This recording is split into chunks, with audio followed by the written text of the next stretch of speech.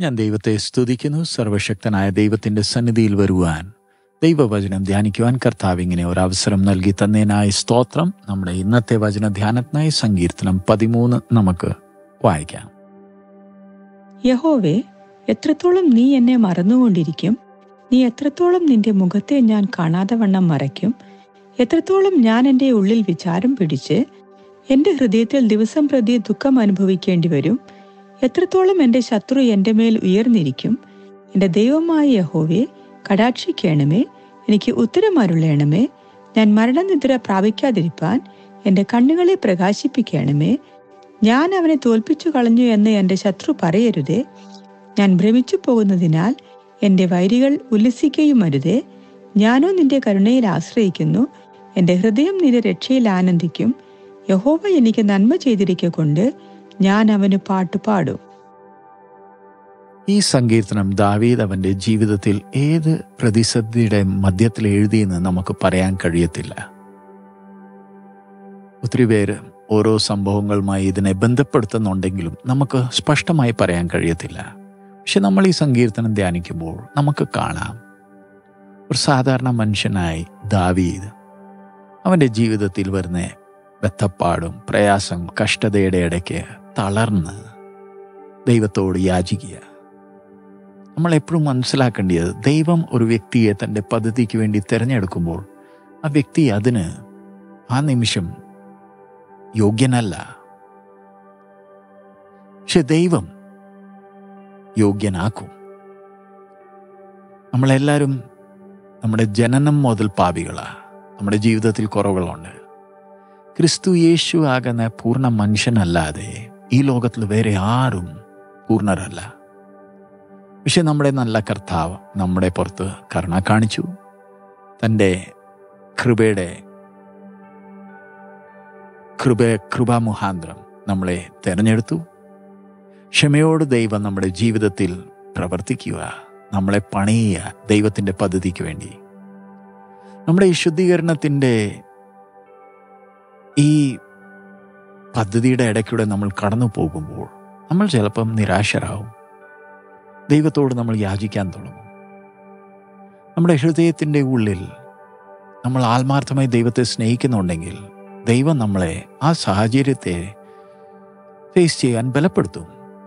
അങ്ങനെ നമ്മൾ പക്വതയിലേക്ക് വളരുന്നത്. ജീവിതത്തിന്റെ നിരാശയുടെ അല്ലെ താഴ്വരയുടെ അനുഭവങ്ങളിൽ നമ്മൾ കടന്നു പോകുമ്പോൾ നമുക്ക് മനസ്സിലാകുന്നത് നമ്മൾ യാഥാർത്ഥ്യത്തിൽ നമ്മൾ ആരാ? അങ്ങനെ ആവുമ്പോൾ നമുക്ക് കർത്താവിൽ കൂടുതൽ ചേരാം. നമുക്ക് മനസ്സിലാകുന്നത് നമുക്ക് നമ്മളിൽ ബലമില്ല എന്നാ ഇത് ദൈവത്തിൽ ആശ്രയിക്കുന്ന എല്ലാ വ്യക്തിയുടെ ജീവിതത്തിന്റെ കഥ ഇത് തന്നെയാണ് അങ്ങനെ നമ്മൾ പക്വതയിലേക്ക് വളരുന്നത്. യോസഫിനെ നമ്മൾ നോക്കുമ്പോൾ ഫറവോന്റെ ദാസന്മാർ അവന്റെ കൂടെ കാരാഗ്രഹത്തിൽ വന്നപ്പം അവരോട് സഹായത്തിന് വേണ്ടി യാചിക്കുന്നത് നമുക്ക് കാണാമല്ലോ. യോസഫും തീരുമാനിച്ചത് ഇനിയും കാരാഗ്രഹത്തിൽ നിന്ന് വിടുതൽ പ്രാപിച്ചാൽ എനിക്ക് വീട്ടിൽ മടങ്ങിപ്പോകാമല്ലോ. പക്ഷേ സ്നേഹവാനായ ദൈവം അത് അനുവദിച്ചില്ല. ദൈവം തന്റെ ദാസനെ പരിശീലിപ്പിച്ചു. തന്റെ പദ്ധതിക്ക് വേണ്ടി അവനെ യോഗ്യനാക്കി. അതിനുവേണ്ടിയല്ലയോ മിശ്രമി കൊണ്ടുവന്നത്. മോശയുടെ ജീവിതത്തിലും അങ്ങനെ തന്നെ. നാൽപ്പത് നീണ്ട വർഷം.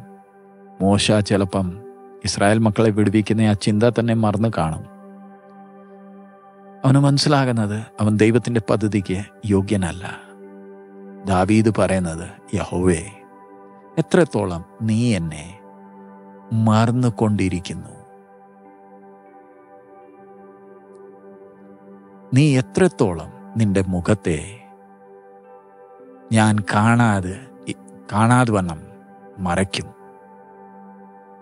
ഒരു മൺപാത്രം അതിനെ ചൂളയിൽ നമ്മൾ വെച്ച് കഴിയുമ്പോൾ കൊശവൻ അവിടെ അടുത്തെങ്ങുമില്ല ആ പാത്രം ചിന്തിക്കുന്നത് എന്നെ കൈവിട്ടതാണ്.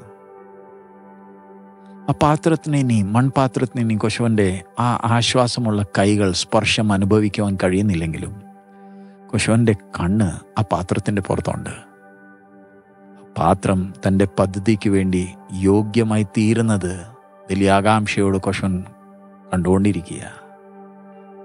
നമ്മളെപ്പോഴും ഓർക്കേണ്ടത് ദൈവം തന്റെ തിരഞ്ഞെടുത്ത പാത്രങ്ങളെ ഇങ്ങനത്തെ ധന്യമായ അനുഭവങ്ങളിൽ നിന്ന് കടന്നു കൊണ്ടുപോകും ഈ പാതയിൽ പോയാൽ മാത്രമേ നമുക്ക് ആ പക്വത പ്രാപിക്കാൻ കഴിയത്തുള്ളൂ. രണ്ടാം വാക്യത്തിൽ ദാവീദ് പറയുന്നത് എത്രത്തോളം ഞാൻ എന്റെ ഉള്ളിൽ വിചാരം പിടിച്ച് എന്റെ ഹൃദയത്തിൽ ദിവസം പ്രതി ദുഃഖം ദുഃഖം അനുഭവിക്കേണ്ടി വരും. എത്രത്തോളം എന്റെ ശത്രു എന്റെ മേൽ ഉയർന്നിരിക്കും? ഇതൊരു അത്ഭുതം ആയിട്ടൊരു വിഷയമല്ല. നമ്മുടെ മനസ്സിൽ നിരാശരാകുമ്പോൾ നമ്മളൊക്കെ ഇങ്ങനെയൊക്കെ ചിന്തിച്ചു പോകും ശത്രു നമ്മളെ പുറത്ത് ജയം പ്രാപിക്കുമെന്ന് നമ്മൾ തോന്നിപ്പോവും. ചിലപ്പോൾ ഒക്കെ ഇങ്ങനത്തെ ചിന്തകൾ നമ്മളെ നിരാശപ്പെടുത്തും. നമ്മുടെ അകത്തെ സമാധാനം നഷ്ടപ്പെട്ട് നമുക്ക് ഉറക്കം പോലും ഇല്ലാത്ത അവസരങ്ങൾ വരും. പക്ഷേ ദാവിദിന്റെ ഹൃദയം ഒന്ന് നോക്കിയേ ദാവീദ് ആഗ്രഹിക്കുന്ന ശത്രുക്കൾ അവന്റെ പുറത്ത് ജയം പ്രാപിക്കല്ലേ എന്നാ? ദൈവത്തിലായ എപ്പോഴും ആശ്രയിച്ചത്.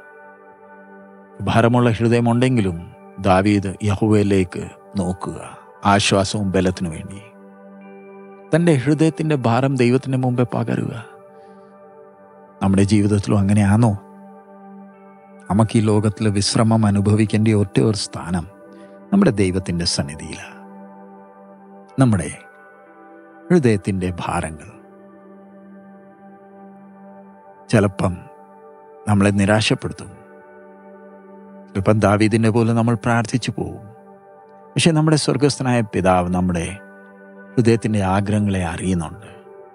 ഇരുട്ടുള്ള അന്തരീക്ഷത്തിൽ നിന്ന് നമ്മളെ ബലപ്പെടുത്തുവാൻ അതിന്റെ പുറത്ത് ജയം പ്രാപിക്കുവാൻ ദൈവം സഹായിക്കും. അതിനുവേണ്ടി നമ്മൾ ദൈവസന്നിധിയിൽ സമയം ചെലവാക്കണം. അങ്ങനെ ദൈവസന്നിധിയിൽ സമയം ചെലവാക്കിയാൽ നമ്മുടെ ഹൃദയത്തിന് ആശ്വാസം ആ രക്ഷയുടെ സന്തോഷം നമ്മൾ അനുഭവിക്കാൻ തുടങ്ങും. ഒടുവിൽ നമുക്ക് ദാവിദിന്റെ പോലെ പാട്ട് പാടാം. യഹോവ എനിക്ക് നന്മ ചെയ്തിരിക്കുന്ന കൊണ്ട് ഞാൻ അവനെ പാട്ട് പാടും. നമ്മുടെ ഹൃദയത്തിന്റെ ഭാരങ്ങൾ നമ്മളെ കർത്താവിൽ നിന്ന് ദൂരെ കൊണ്ടുപോകാൻ അനുവദിക്കല്ലേ? നമ്മുടെ ആ പ്രത്യാശയുടെ ആ നങ്കൂരം കൊടുങ്കാറ്റിൽ അവസാനിക്കുന്നവരെ നമ്മുടെ കർത്താവിൽ തന്നെ സ്ഥിരപ്പെട്ടിരിക്കട്ടെ. നമ്മുടെ കർത്താവിനോട് നമുക്ക് പറ്റിച്ചേർന്നിരിക്കാം. നമ്മുടെ രക്ഷയുടെ പ്രത്യാശ. ഈ ദുഷ്ടത നിറഞ്ഞ ലോകത്തിൽ നമ്മുടെ കർത്താവ് മാത്രമേ ഉള്ളല്ലോ. ദൈവം അതിനായി നമ്മളെ ഓരോരുത്തരെയും സഹായിക്കുമാറാകട്ടെ. എത്ര കഷ്ടതയാണെങ്കിലും നമുക്ക് ദൈവം ചെയ്ത നന്മകൾ ഓർത്ത് ദൈവത്തെ പാടി സ്തുതിച്ച് എല്ലാ സാഹചര്യങ്ങളുടെ പുറത്ത് ജയം പ്രാപിക്കാം. നമുക്ക് പ്രാർത്ഥിക്കാം. കർത്താവെ ഈ നല്ല സങ്കീർത്തനത്തിനായി സ്തോത്രം. നീ ഞങ്ങൾ ഓരോരുത്തരോട് സംസാരിക്കുന്നതിനായി സ്തോത്രം. കർത്താവെ ഞങ്ങളുടെ സാഹചര്യങ്ങൾ നീ അറിയുന്നു. അതനുസരിച്ച് ഓരോ ദിവസം കർത്താവെ നീ ഞങ്ങളോട് സംസാരിക്കുന്നതിനായി സ്തോത്രം. എത്ര നിരാശയാണെങ്കിലും ഇതിന്റെ മധ്യത്തിൽ കർത്താവെ നിന്റെ വചനത്തിൽ ഉറച്ചു നിൽപ്പാൻ. കർത്താവെ നിന്റെ സാന്നിധ്യം അനുഭവിക്കുവാൻ.